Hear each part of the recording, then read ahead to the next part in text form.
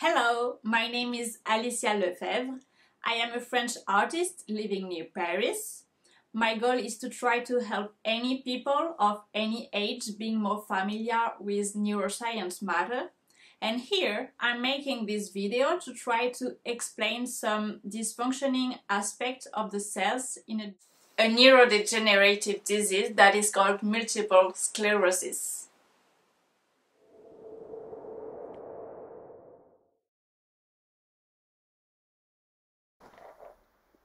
In the multiple sclerosis disease, cells contained in the central nervous system, I mean the brain and the spinal cord, are dysfunctioning.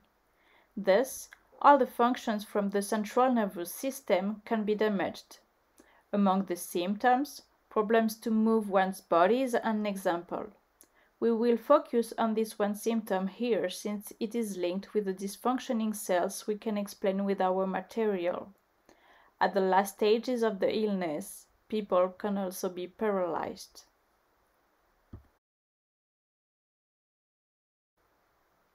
I invite you to discover or rediscover our famous oud player, Ali Hallyday, in my video series MTTCV, that means even you will understand. Affected by this disease, Ali illustrates both symptoms and mechanisms involved. The video contains English subtitles if needed.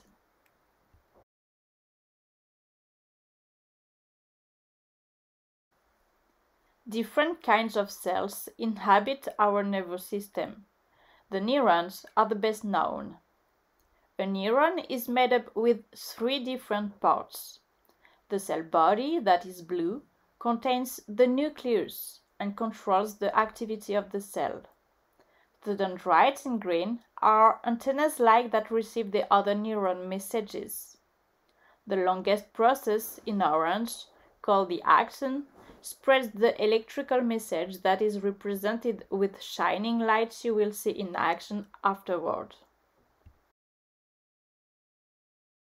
Our nervous system also contains glial cells that take care about neurons.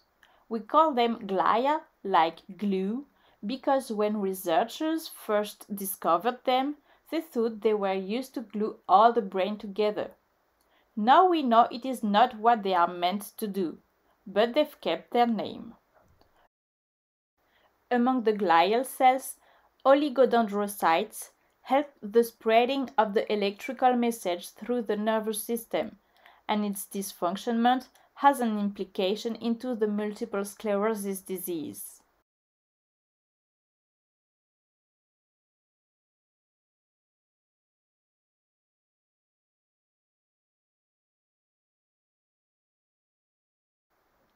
Oligodendrocytes roll around the neuron's axons. The white sheath appearing is called the myelin sheath.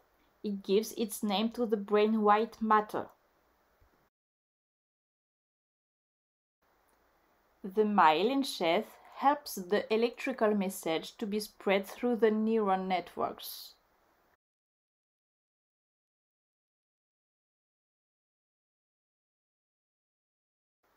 Let's see the shining lights onto the electronic neuron.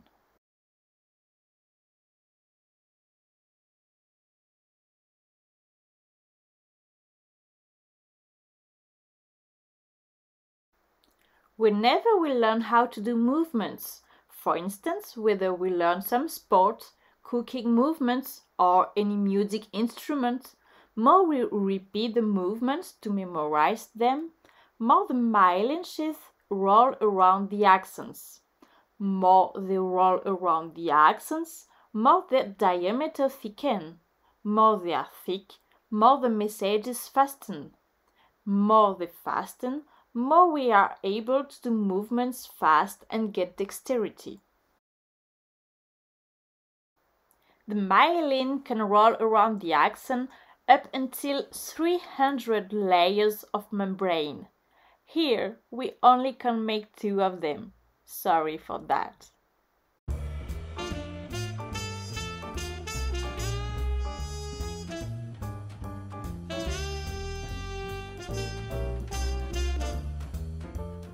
An oligodendrocyte never rolls twice the same neuron.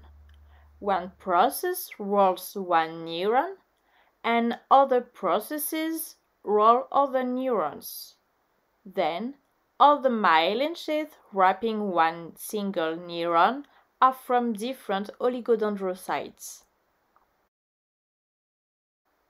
Now we understand how some of the processes of the nervous conduction in neural networks enable us to move, to play, to cook, to play any music instrument and improve our sport practices, we will try to figure out how those same mechanisms, whenever they are damaged, can cause movement difficulties like in the multiple sclerosis disease.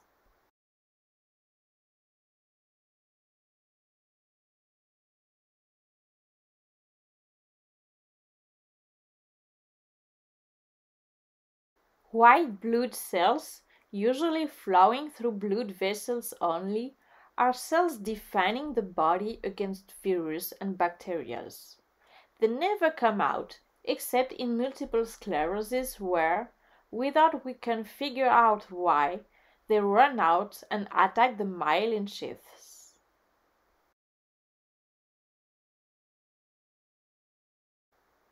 The myelin sheath being attacked it prevents the electrical signal to be fast and efficient enough.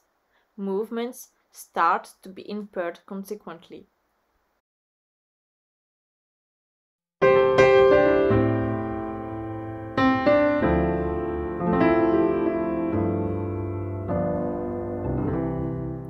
This is why body movements or even the sight can be impaired.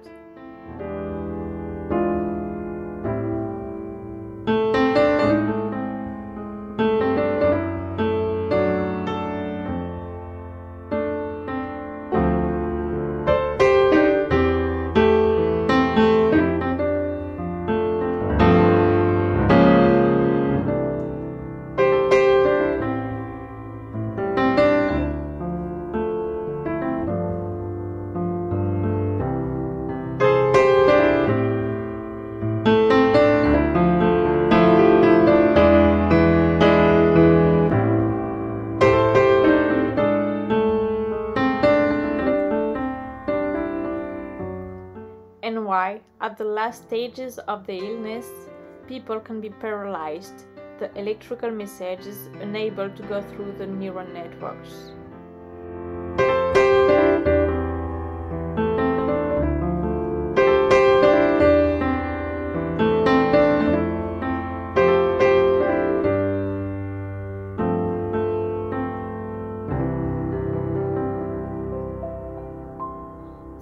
The electronic neuron and the stuffed oligodendrocytes, we have made up our mind with how the myelin sheath that oligodendrocytes create around the neuron's axons, usually helping the nervous conduction, is here preventing it to function properly, and how that dysfunctioning alters the ability to realize everyday movements like in multiple sclerosis. Our cells making up our nervous system underlie an amazing, wide, microscopic universe inside any of us, enabling us to do all the fantastic things we can do in our everyday life. How to take care of them to prevent their dysfunctioning and the debilitating illnesses engendered.